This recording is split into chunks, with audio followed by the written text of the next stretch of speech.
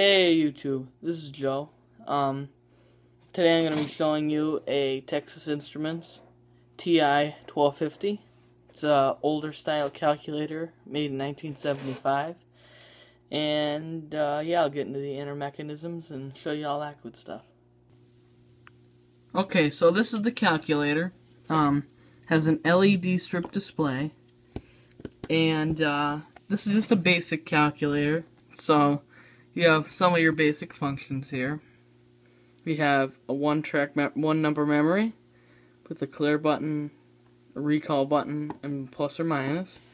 You have division, multiplication, subtraction, addition, and then your equal sign in the gold strip. You have clear all calculator, that's your negative sign. This is your percent sign. And then you have your numbers clear the number that you're on, zero, and the decimal point. Okay, so I'll turn it on with the button right here. Okay, so let me turn it on here. Okay. So now it's on. Okay. I don't know why the display is like that. It's really bright. But, um, so say, let's just do 7 times 9. 63. Alright? So, now, just clear that. So now if I do 4 times 5, what's cool about it is put 20, add that to your memory, clear. 7 times 8, now instead of having to remember that, add that. And then you'll get 76, which is 63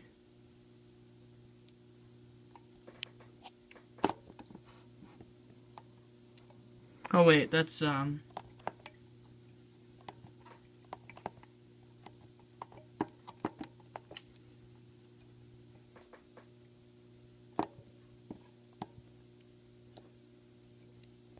Yeah, that's right. Sorry about that. 4 times 5 plus 7 times 8 56 and 20, which would be 76. That's right. Okay. So let's just clear out the calculator. You have your negative sign. And so I live in Pennsylvania, so our sales tax is 6%. So if I had a $5 purchase, and I want to see how much it would be with tax, we do 5 times 6%. And that'd be five dollars and thirty cents. So that's pretty cool. It's a nice calculator. Uh, you have your gold kind of strip around here, and the buttons have silver strips. Um, this is like a, a rocker switch almost. I don't know how you, a toggle switch, and when you pull that, it's off. Um, right on the back here we have all the patent numbers, your serial number, some operation examples, show you what that is. Um, run, assembled in the USA. It runs on a 9 volt battery, which I taped the opening shut here because uh, something wrong with the clip thing.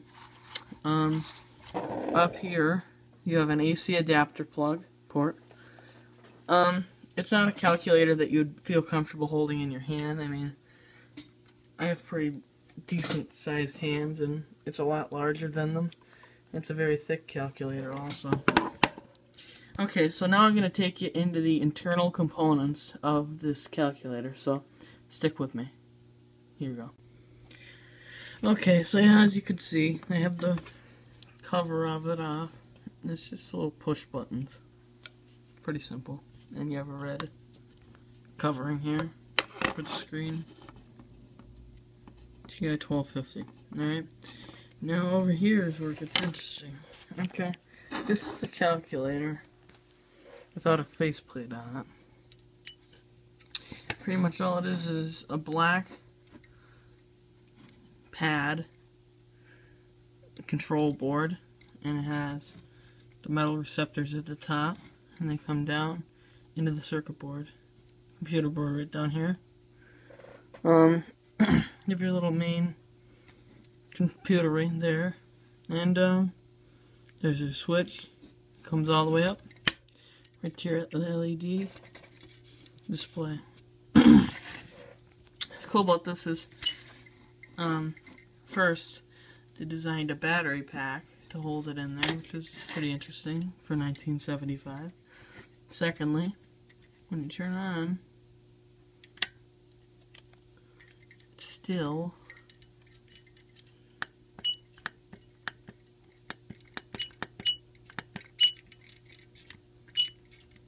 no squeaky, but still works. This is pretty cool. Alright, so that's it for today, guys. Um, remember, rate, comment, subscribe.